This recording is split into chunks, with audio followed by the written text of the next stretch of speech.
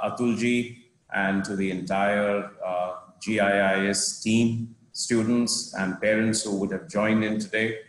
Um, uh, my greetings to you uh, on um, a Thursday evening.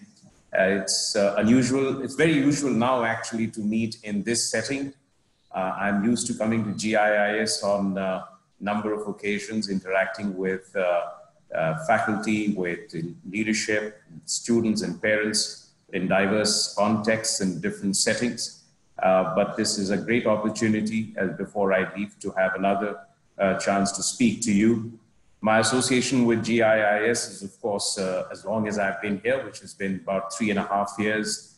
Um, right in the beginning, from the time the campus was uh, quite close to where we are here in the uh, uh, in the heart of the town, to this extraordinary smart and uh, and a really well designed campus now in Punggol, which is always a treat to visit, where sometimes the technology can be very intimidating for people like us, but I'm sure uh, it is uh, setting the tone for the young leaders of tomorrow. But it is really a, a sort of a benchmark in design of a school.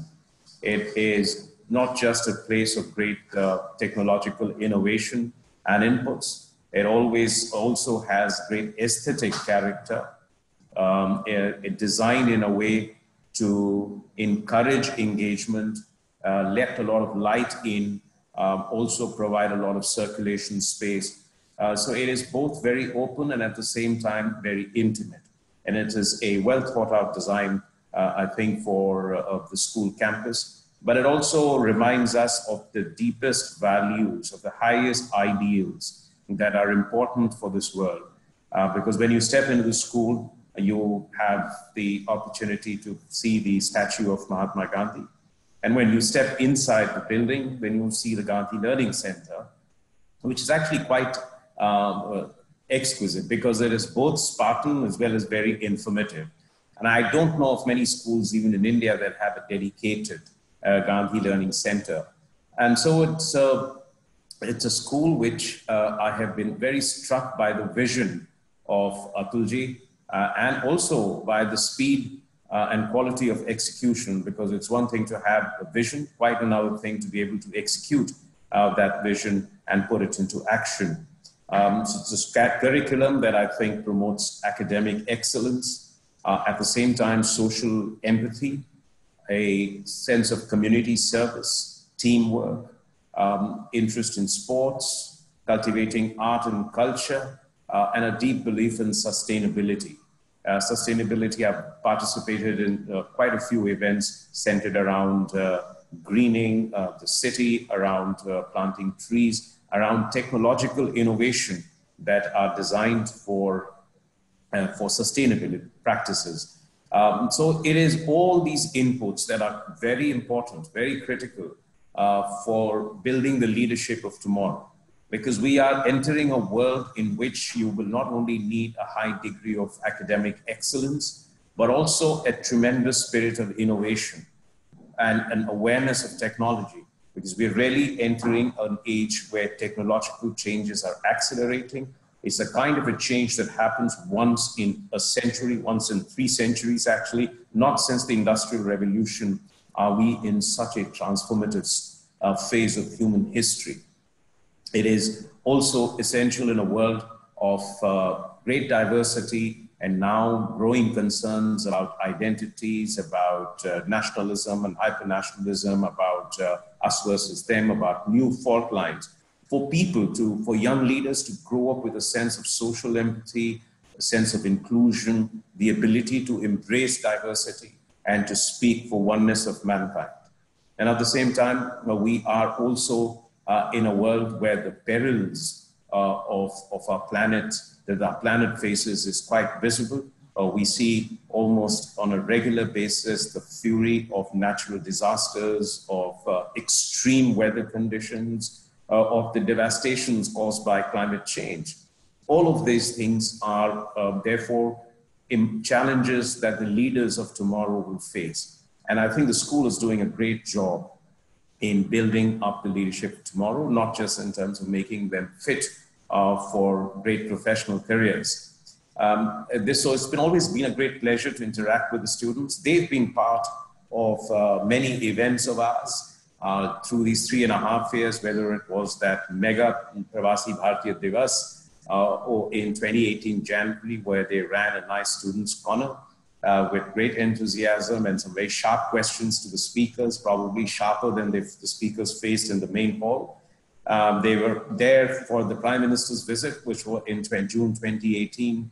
Uh, and we've seen them, of course, at the mega business and innovation event last September. This GIIS, GNIS, and GIS. And of course, I have to, uh, to, to remember uh, that the two students who were the uh, compeers at the very solemn ceremony to unveil the plaque of Mahatma Gandhi at Clifford Pier uh, during the visit of Prime Minister uh, Shri Narendra Modi and in the presence of ESM Goh Chok Tong. Um, GIS and GIS have also been great partners for us in everything that we have done. Uh, but more than what uh, they have done with us, I think I really value the contribution that the Global India Foundation and the Global in, uh, GIS has made to the Singapore society. Um, it, at different times, I know and I've seen them participate in community activities uh, that is are contributing to make Singapore a better place, uh, and that's truly an important and invaluable contribution. In a sense, invisibly so, they are becoming part of the Singaporean society, integrated deeply into the fabric of this nation. Um, it is uh, also something which uh, I would also uh, like to take a moment to thank uh, Atul Ji uh, because of the manner in which he has always come forward, not just because of GIS, which has, for example, trained hundreds of thousands of talent in the realm of art and culture and other areas of, of performing arts, uh, but also in terms of social contribution. And this brings me to the point about uh, the pandemic that we've all gone through for the past uh, it's really just been what five months since the first case of pandemic was confirmed in Singapore on January 23rd. This has been a, a moment, and since then we watched how the Indian community has reacted to it. Um, before I get into that, I'd like to say a word of uh, compliments and uh, appreciation for the manner in which uh, Singapore government has handled this uh, pandemic um, we all have to recognize that at each stage during this five month period, we've all felt comfortable, confident, and reassured that we would be safe and that the government would be transparent and clear in the manner in which it would share information about the actual situation.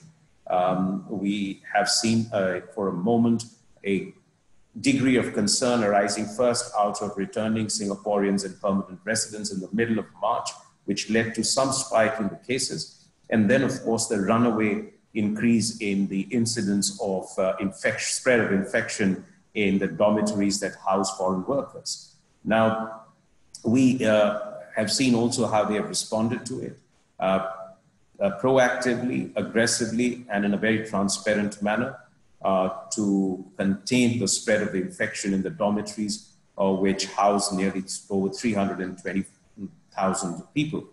So they have been very proactive in testing, in tracing, in isolating the workers who were sick, separating those who were healthy and taking them into safer uh, temporary accommodation, and in the manner in which they have responded to the welfare requirements and the social, psychological, and the emotional uh, challenges that uh, workers faced when they were put in a lockdown condition in their dormitories, where they were not allowed to go to work or to step outside the dormitories, and in many cases outside their rooms. And so the government made sure that they were getting paid their salaries through their employers. They got the meal that they wanted. They uh, each had a care package which gave them a thermometer, masks, and sanitizers. There was free medical uh, facilities at each of those dormitories and there was also very uh, detailed thinking that went into some of those initiatives. For example, they were they distributed over 200,000 free SIM cards uh, to those workers that didn't have access to Wi-Fi. they enhanced and made Wi-Fi free where Wi-Fi was available. And they even made, gave them access, free access to hundreds of television channels, uh, which they could watch uh, during um, their uh, period of confinement. Now, these, uh, the, my, they even had messages from Rajinikanth and Kamal Haasan and Sachin Tendulkar and Shankar Mahadevan. I mean, icons who uh, send very special messages to the workers who were in the dormitories. Uh, I interacted with them. I spoke to them. I uh, went to the dorm. And uh, so they have done extremely well. The workers were very happy. And today, as we have come out of the circuit breaker, we see the situation is stable. Uh, we see that in the community spread is almost uh, non-existent. I mean, there incidence of, uh, of infections uh, is almost non-existent now. It's very negligible. Uh, but we also see that it has come down to a pretty stable level Uh, within the uh, dormitories as well. Uh, so it's, it's something that, that has, it isn't just the government, it has been the whole of community, the whole of society effort.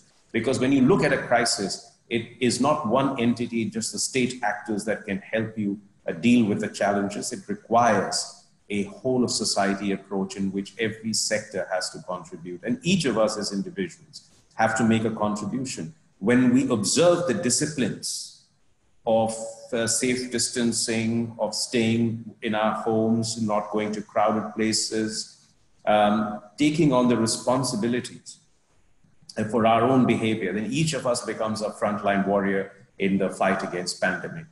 Um, in the Indian community, the Indian expatriate, of course, has uh, also made an enormous contribution uh, in the course of this period.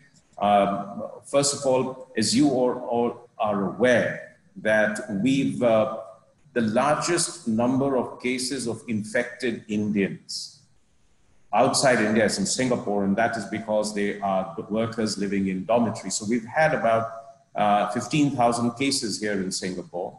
Uh, 96% of those are in the dormitories. Um, and uh, that's 35% of all cases in Singapore. And that's a really large number. So we are uh, grateful to the Singapore government and to the community for their response in dealing with the pandemic, especially for the uh, workers. The community has stood up also. I know uh, Atulji's made an enormous contribution, uh, financial, and by getting his team, by uh, getting his students to, um, to, to stand behind this effort, to be there, not just in terms of financial contribution, but to devote their time and thought to supporting the pandemic response. Uh, we've got some fascinating examples of uh, community organizations, of Indian associations who have uh, raised resources, who have mobilized resources workers who've been laid, laid off, uh, those who have cooked for them. There are Indian uh, religious organizations, uh, temples, mosques, gurudwaras who have uh, contributed to this effort. And there have been instances where people have actually gone and offered themselves as interpreters for workers in dealing with medical services, uh, those who have um, done work in terms of caring for the elderly or uh, volunteering in different manner. We've had instances of, uh, for restaurants that have catered food for healthcare workers for weeks together. Um, those who have provided technology solutions to dormitories so that they could manage this pandemic were better. So there have been numerous instances of uh, the community coming together. But that's as far as the migrant workers, as far as the larger Singaporean society is concerned. But we also had to deal with a number of other kinds of challenges. For example, uh, a lot of Indians who were here uh, on temporary visits got stranded when there was a lockdown in India on the 24th of uh, March. Uh, many were elders who had come visiting their children, or those who were, there were those who had come for business, those who had come for tourism. In addition to that, we had a problem of a number of uh, workers and professionals who had been laid off. They and their families had to return to India. There were students who had finished their courses, or students who used to finance their way uh, through uh, part time work.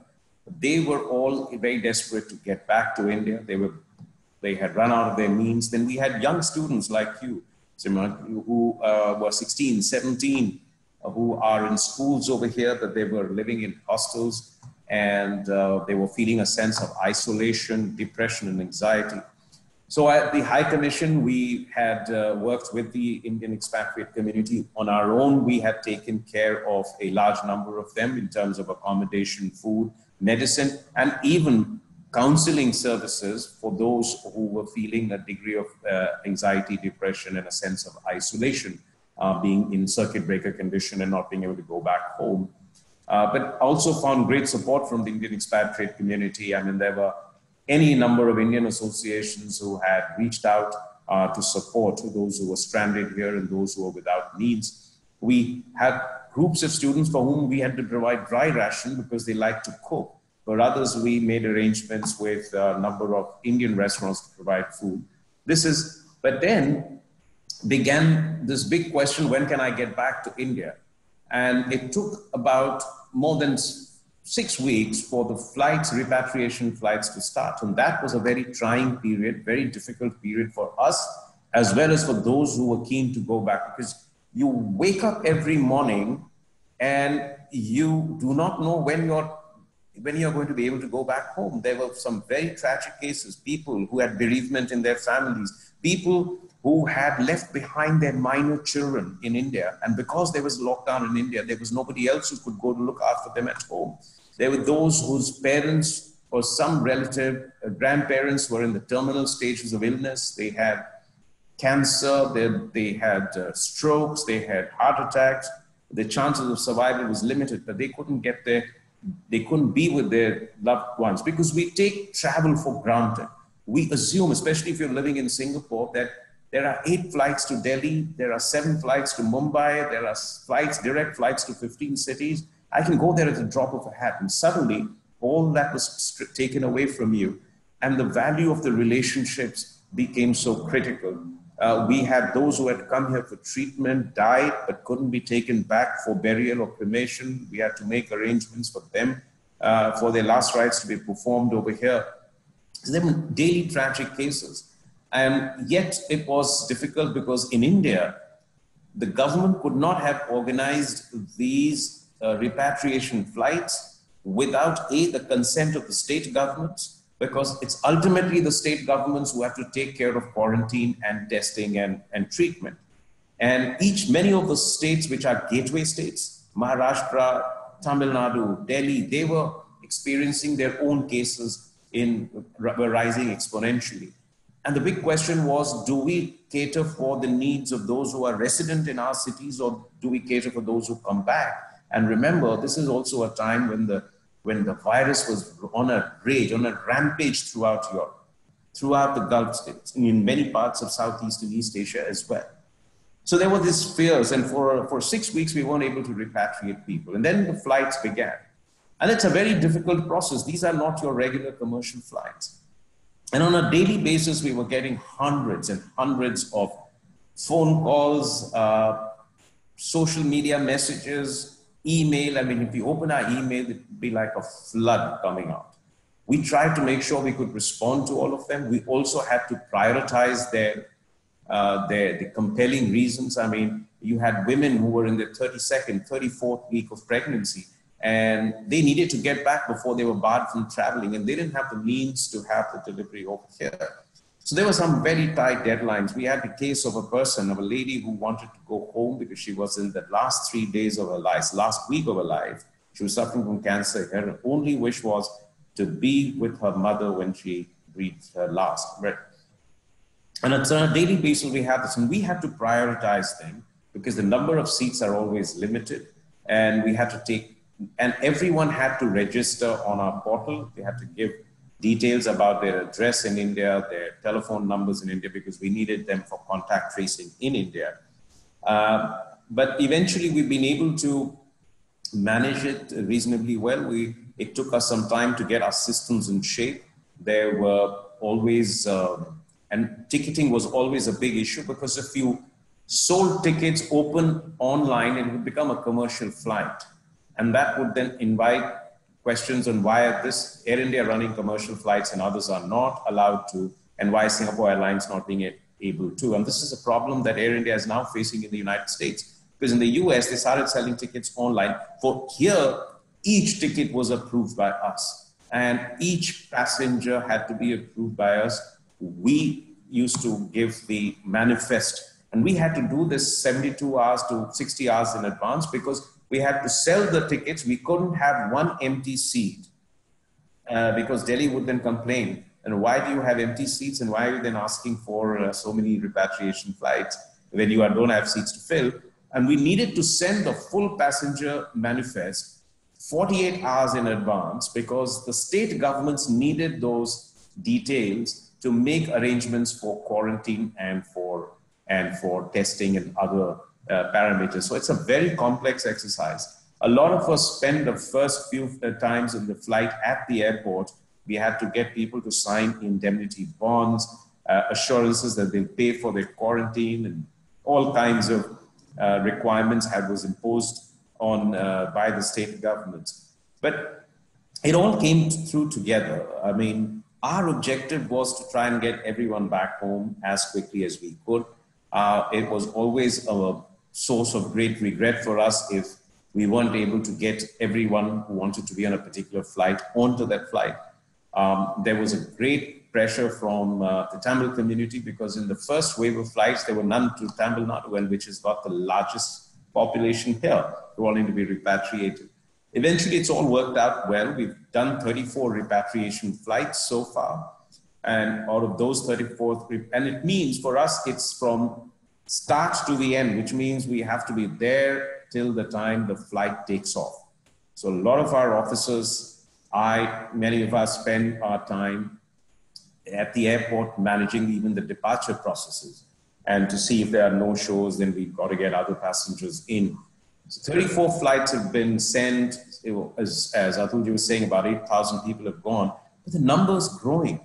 We thought the number would reduce as the flights get, and that is an indication of the state of affairs because you know obviously more and more people are losing jobs more and more people are are, are uh, facing difficult circumstances and would like them to go back home.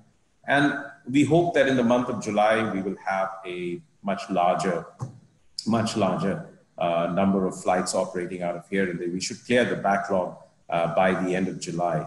Um, so this has been an, uh, an extraordinary period.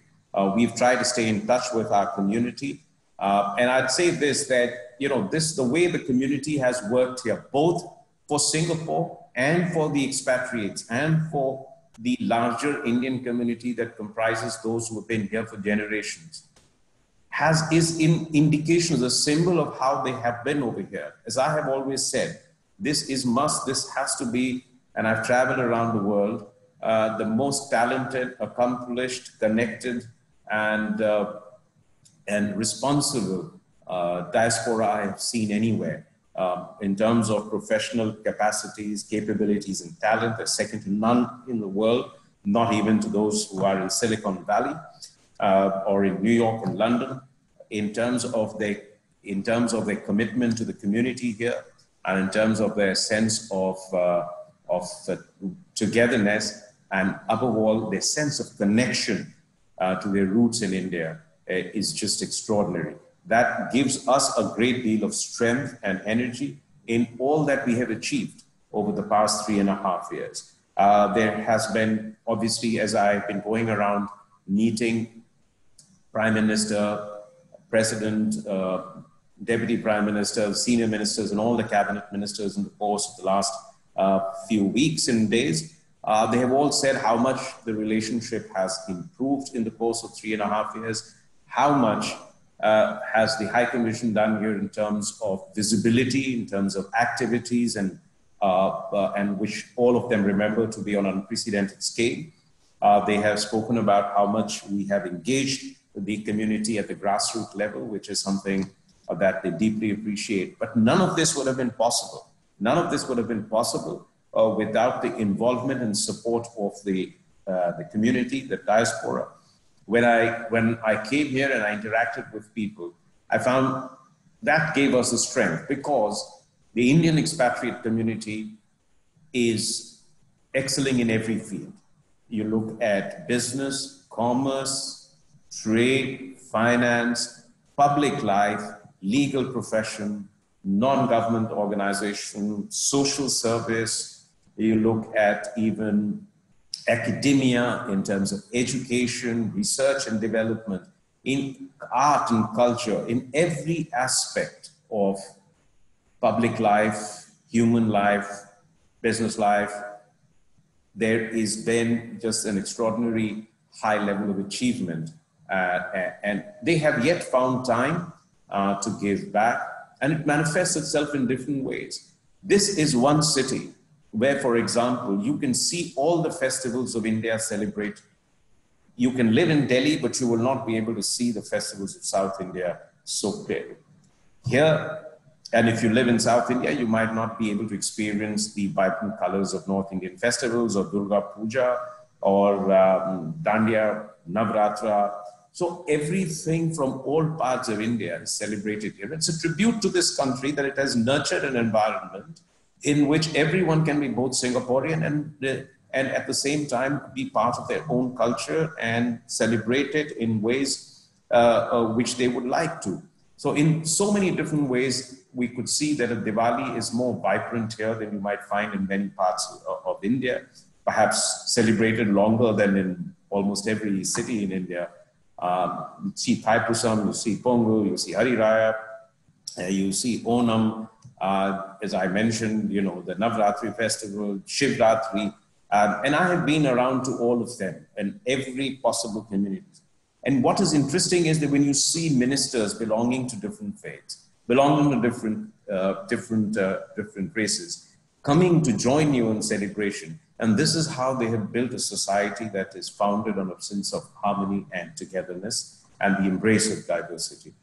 So in, this is also a city which has a cultural calendar which could easily match any of the major Indian cities. I mean, this is no exaggeration to say that if you see from January till the end, some of them are, because of this great uh, talent in the diaspora, some of their event managers who have brought the best of best from uh, India over here. Then there are religious organizations that anchor then there are festivals which lead to great cultural events. Throughout the year, you will see something major happen. And that's, again, a level of involvement from the community which makes this uh, possible. Uh, similarly, this is a city where, you know, the spark of the startup community, the spark of innovation, the spark of technology is really coming from the young minds of, from India. These are young kids who got, I will give you an example that I just experienced. There is a young fellow called, uh, who has made a device uh, which you can, which costs us $18 in dollars, which measures four parameters which are critical for COVID, uh, which measures body temperature, uh, heart rate, SpO2, and fatigue levels. And it is synced to your phone and it goes, sends the data into a central monitoring system. So engineered in Bangalore, manufactured in China, and launched in Singapore. I mean, this is a, and again, an example of what an uh, you know young Indian talent can do. And I came across many examples, and many of you in GIS will grow to break these new horizons, create something new, and in a very fertile environment. So I think much of what we have achieved in these, uh, and there have been so many highlights we could have uh, spoken about but all of you are aware of them. But it isn't, wouldn't have been possible without both the support we got from uh, the community and their participation and involvement. And I have to say again, uh, definitely for record, as I've said in private, Atulji, your support and contribution was not just forthcoming, but it was done with so much enthusiasm that uh, it always gave us assurance that we can achieve things on scales that were unprecedented in Singapore. And we were able to do it. And everyone recognizes it here in Singapore, including the top leadership. So, and you are also the bridge between India and Singapore. You know, this is, uh, I was just telling DPM yesterday or two days ago that to sow the seeds of our future partnership, we need to get our youth together more. And you are, this diaspora has the unique ability to be an interpreter of India in Singapore and an advocate for Singapore in India. And therefore, you can be the big bridge. I've told SM Tharman also that if you really, this has got the best talent in the world, you really need to tap the Indian market and opportunities, you need to work with them. Why is this relationship so important? It is important for a number of reasons. And I'm going to put it in very simple terms. And you'll understand what I'm saying. One, of course, is that we've always had a great relationship for two millennia. Because this is a natural neighborhood for India. We talk of neighborhood, we speak of South Asia. But look at Myanmar begins from Myanmar, Southeast Asia begins. We are just 60 nautical miles from between Indira Point and Andaman and Nicobar Islands and Indonesia.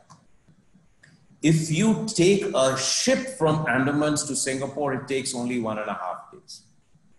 So we're really close. And you see this when you fly from India to Singapore and back. So this is something, it is important because you've got to have good relations with neighbors. Second, we are, both of us share a strong cultural heritage. Singapore I mean, identity is incomplete without its Indian heritage. That is something they recognize. There is no Singaporean identity without its Indian heritage, just as it is a Chinese heritage and a Malay heritage, and a, to an extent, even a European heritage. Now, that's a very important factor. We share so much in culture together. We also have a great future when it comes to economic partnership. Now, when you look around the world, Singapore is a country that derives its value globally. It's a small country. It cannot do everything here. It needs to have a market. India is going to be a, it's, and it has, DPM Heng was telling me that India is one of the top priorities for them going ahead. But we agree that we cannot do this without human talent. We need people to go and build these bridges. It's not enough to just speak about potential. And therefore, I'm saying this for the young minds and the young uh, people in our diaspora. You need to be that bridge uh, to say that, okay, we will be the uh, channel through which we will build this economic partnership. It's important for India's prosperity. It is important for Singapore's future. Again, when we think of all the solutions we can provide for the world, you know, the most important is our synergies, our capacities in innovation just as India has used technology and innovation to provide banking, insurance, pension, public delivery of service, access to healthcare, to distant learning, to to eh, to uh, to different kinds of government services. All of these things have been possible only because we've harnessed technology in India, developed this Aadhaar, we've got this phone, We've got these uh, India stack, and we've got this uh, bank accounts of 1.2 billion uh, people. Now, this is something which is a story which we are now can export to the rest of the world because there are many countries that would need a similar kind of technology intervention to transform lives of their people. We're working with Singapore to try and build what is called India Stack into a global stack and use their capacities in Smart Nation to build that together. And again, it can be a great contribution uh, for realizing the vision of sustainable development goals. Um, we have an enormous responsibility to build peace and security in this part of the world. We all know that we are entering a world which is going to be fractious, which is going to be more contested, maybe even more bitter in terms of rivalry. And we are a people, a civilization that believes in Vasudhaiva Kutumbakam, the world is one family. Singapore is a country that believes in the diversity of the world. Like us, they believe in rule of law in, and, and, and rules-based international order. We do the same, that in, as in society, as in families, in the world also, everyone must act according to established rules and norms. Only then will the world be a safe, secure place in which everyone can feel they have an opportunity uh, to pursue their dreams. Now, this is something that you cannot take for granted. You cannot assume that the world will be the way we have seen it for the last 70 years. So, therefore, India and Singapore feel like we need to work together with other like minded countries to build that kind of a uh, relation world for ourselves. And again, this is something which you as youth can do that, which our young minds can, uh, can, can, can, they are idealistic, they can dream, they are willing to push boundaries, they are not, um, they are not caught up in the baggages of the past. So it is, again, uh, an area where I feel that India and Singapore can do a lot more as we are. So whether it is terms of building a peaceful and secure world for our children and for our future, whether it is working together for future prosperity. And remember, pandemic is going to be transformative. We have not yet understood the economic costs of this. It is going to take a year for the full economic toll to be felt. We haven't understood the in, impact in terms of employment, in social challenges, in terms of uh, in terms of what it will do for families, what it will do for communities and societies, what it might do in terms of putting pressure on our social fabric. So it is important for us to find opportunities where there are to restore the economic momentum, repair the economies, recreate those jobs uh, for our people.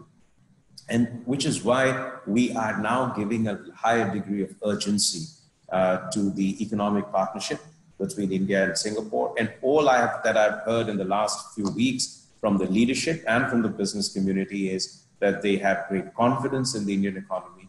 Um, they would like uh, to do more over there, just as we encourage Indian businesses to be here. And I have to tell you, we have 9,000 Indian companies over here. Some of them are very active. And just a week ago, um, the Indian Business Forum, which makes up, which is made up of 49 Indian companies, made a handsome contribution to the migrant workers um, center for the migrant workers fund. And again, it shows that their commitment to Singapore as a as a base for their global economy. So I'd like to say this that you know the future for this partnership is great. We do not have disputes, we do not have contests, we do not have doubts and hesitation we only have goodwill and warmth and trust in this and mutual respect in this relationship. We are a country, India, that does not believe in a small country or a large country. We believe that all countries, irrespective of size, are equal and sovereign, are free, and that is the level of respect with which we must deal with each other, which we do with India and Singapore. So I think that, you know, as we go forward, I mean, particularly, I'd like GIIS to continue its great mission and the work that it is doing, uh, continue to focus on community, continue to focus on innovation, continue to focus on sustainability, besides academic and sporting excellence. Um, you have to prepare the leaders for tomorrow. And for the Indian community, I'd like to say that it is extremely important for us to first of all feel like we are part of Singapore, that this isn't just a place where we've come to work and make money and have fun, uh, you know, with our dreams in India. Yes, they may be, but while we are here, we must feel uh, we are part of Singapore. We must integrate with the larger Singaporean community. We must integrate across, across the old Indian diaspora and the new expat. Because that is how we will because diversity is in our DNA. We Indians are used to hearing multiple languages at the same time, living with different traditions and customs. It's natural to us. We grow up like this. And so it's very important to find ways uh, in which we become, feel like we're part of the Singaporean community. Find time uh, to contribute to society because most of us who are here are relatively well off. We are doing well on the strength of our talent and enterprise and, and, and, and hard work.